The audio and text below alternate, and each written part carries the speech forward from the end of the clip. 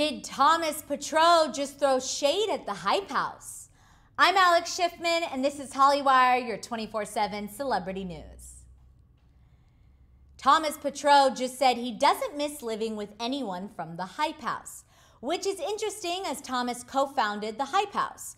Thomas recently took a lie detector test where it was detected that Thomas doesn't miss his old roommates. During his lie detector test, Thomas was asked, Do you miss living with anyone from the old Hype House? And Thomas responded immediately with absolutely effing not, which the lie detector picked up as being true.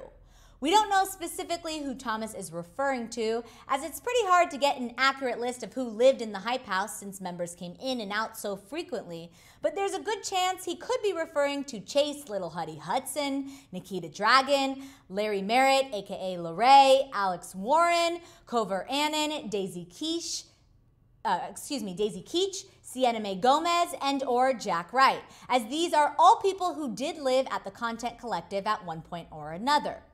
Of course, fans had a lot to say about this now viral clip of Thomas not missing his old roommates, with top comments like, I wouldn't miss living with him either, as well as, do people actually still stan him? And also, they literally made him, which is likely referring to how Hype House members who never officially lived in the house, like Charli and Dixie D'Amelio and Addison Rae, helped put the Hype House on the map, as Charli and Addison have the most amount of followers on TikTok. Well, I think Thomas was trying to be playful here, but I also understand uh, why fans of the Hype House would feel a certain type of way as, you know, that house and the content creators in it uh, was such a huge part of Thomas's life. And so for him to uh, speak on it at that, I'm sure is very upsetting for many fans.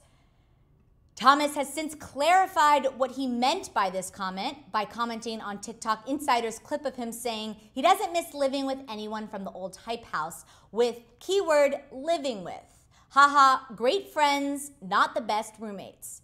And it seems like followers understand where Thomas is coming from, with the top responses to this comment being, right? Y'all act like having roommates is all peaches and cream. And also, people grown apart. All of them have their own life. They're successful individually. They can't be 24 7 together anymore.